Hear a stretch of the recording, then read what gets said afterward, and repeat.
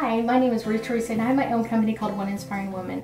I'm a psychic medium and I love to talk to my clients about love and so many of them have come to me and asked me love questions. So this is a video about a lot of love questions.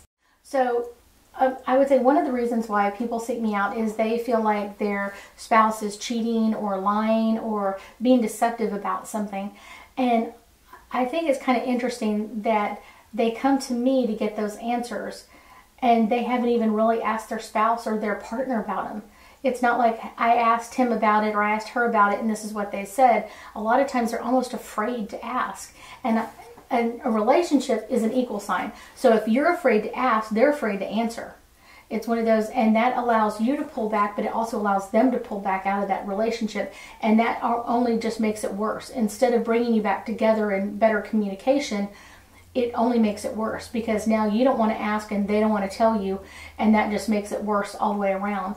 But if you come at them and say this is i feel like this is what's happening i feel like you're cheating or i feel like this is happening at least it gives you an opportunity to make amends to that.